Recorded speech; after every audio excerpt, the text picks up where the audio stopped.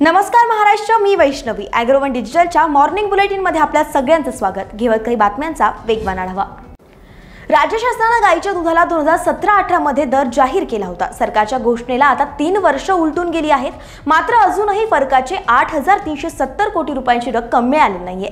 तेव्हा ही रक्कम तातडीनं मिळावी यासाठी रघुनाथ दादा पाटील यांच्या शेतकरी संघटनेनं बुधवारी म्हणजेच एकोणतीस सप्टेंबरला मुंबईच्या दुग्ध आयुक्त कार्यालयावर मोर्चा आयोजित केलाय. त्यानंतर कृषी आणि घरगुती वीज बिलाच्या माफी संदर्भात महावितरण कार्यालयाबाहेरही आंदोलन केलं जाणार आहे.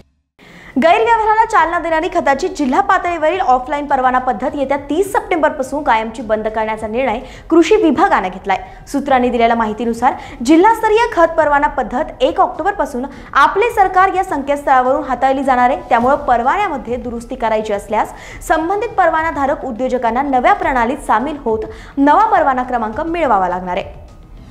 भारताच्या जीएम सोयाबीनवर बंदी आहे अशा सोयाबीनची केंद्र सरकारनं आयात केल्यामुळं सोयाबीनचे दर झपाट्यानं कमी झाले आहेत असं कृषी मंत्री दादा भुसे म्हणाले आहेत.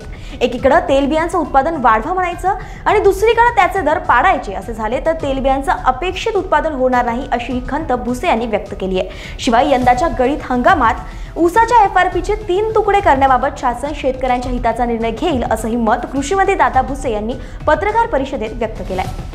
महाराष्ट्र कृषी शिक्षण आणि संशोधन परिषदेच्या दुर्लक्षामुळे पंजाबराव देशमुख कृषी विद्यापीठात बनावट कागदपत्रांच्या आधारे विभाग प्रमुख नियुक्ती झाली होती. या प्रकरणी मुंबई उच्च न्यायालयाच्या नागपूर खंडपीठानं या विषयावरील सुनावणी दरम्यान पंजाबराव देशमुख कृषी विद्यापीठासह महाराष्ट्र कृषी शिक्षण आणि संशोधन परिषदेला नोटिसा बजावल्या आहेत.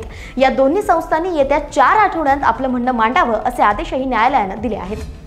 सातारा जिल्ह्यात सहकारी आणि खाजगी असे सोळा साखर कारखाने ऑक्टोबरपासून गाळपाच्या तयारीत आहेत. मात्र जिल्ह्यात सध्या गेल्या वर्षीच्या गाळप केलेल्या ऊसाच्या बिलाची बाकी देण्यावरून शेतकरी संघटनांनी आक्रमक भूमिका घेतली आहे. त्यातच एफ आर पीचे तुकडे करून कारखाने बिल देत असल्यानं शेतकऱ्यात नाराजी आहे. तर दुसरीकडे साखर कारखान्यांनी अजूनही एफ आर पी बाबत कोणतीही भूमिका जाहीर केलेली नाहीये. पण शेतकरी संघटनांनी आवाज उठवण्यास सुरुवात केल्यानं ऐन हंगामाच्या तोंडावर वाद चिघळण्याची भीती आहे. नगर जिल्ह्यात उडदाचं पीक बहरत असताना पावसानं साधारण महिनाभर ताण दिला. त्याचा परिणाम शेंगा पोचण्यावर झालाय. त्यामुळे आता उत्पादनात घट झाल्याचं समोर आलंय. यंदा हेक्टरी चार क्विंटल एकवीस किलो उत्पादन निघाल्यानं तसंच एकरी एक क्विंटल एकोणसत्तर किलो उडीत निघाल्याचं कृषी विभागानं केलेल्या पीक कापणी प्रयोगातून स्पष्ट होतंय. गेल्या वर्षाच्या तुलनेत यंदा निम्म्यानं घट झाली आहे पूर्व भारतात असलेल्या वादळी प्रणालीच्या प्रभावामुळे अरबी समुद्रावरून वाऱ्यांचे प्रवाह वाढणार आहेत. यामुळे आज कोकण मध्य महाराष्ट्र मराठवाड्यात वादळी वाऱ्यासह मुसळधार पावसाचा इशारा हवामानशास्त्र विभागानं दिलाय. तसंच विदर्भातही तुरळक ठिकाणी जोरदार पावसाची शक्यता वर्तवण्यात आली आहे तर गुलाब चक्रीवादळाची तीव्रता ओसरली असून मान्सूनचा असलेला कमी दाबाचा पट्टा दक्षिणेकडे सरकला आहे. यासोबतच आजच्या मॉर्निंग बुलेटिनमध्ये इथेच थांबूयात. दिवसभरातील शेतीशी निगडीत प्रत्येक अपडेट जाणून घेण्यासाठी पाहत रहा ॲग्रोवन डिजिटल